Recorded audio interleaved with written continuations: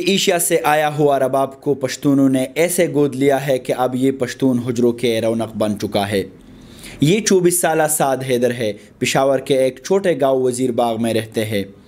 سعد نہ صرف پچھلے چار سالوں سے رباب بجاتا ہے، بلکہ رباب سے انتہا کی محبت کی وجہ سے بیس کے تیسیس کا موضوع بھی رباب بنا لیا۔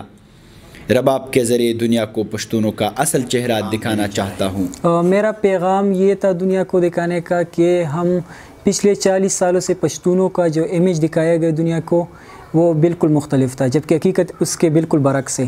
میرا پیغام یہ تھا کہ ہم دنیا کو یہ بتائے کہ پشتون امن پسند لوگ ہیں، پشتون زندگی چاہنے والے لوگ ہیں، پشتون رباب والے لوگ ہیں۔ کہا جاتا ہے کہ پشتون موسیقی پسند کرتے ہیں لیکن موسیقار نہیں۔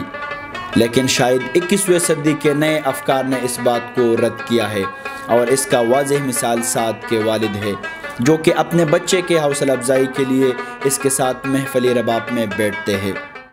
میرا جو بیسک ایم تھا تو یہی یہی تھا کہ پختون جو ہے جو اکثر موسیقی کو تو پسند کرتے ہیں، مگر موسیقی بجانے والے کو پسند نہیں کرا تو میرا بیسک ایم یہی تھا کہ میں اپنے بیٹے کو آگے لاؤں جو موسیقی کو بجائے بھی اور لوگوں کو دکھائے کہ پختون اور حجرہ اور رباب، یہ تینوں آپس میں لازم اور ملزوم ہیں۔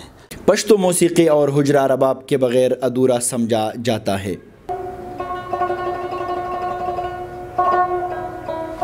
بلا شبہ رباب کو پشتو موسیقی کا شاہنشاہ کہا جاتا ہے۔ لیکن موجودہ دور میں پاپ میوزک کی بڑھتی ہوئی رجحان کے باعث اس کا استعمال کم ہوتا جا رہا ہے۔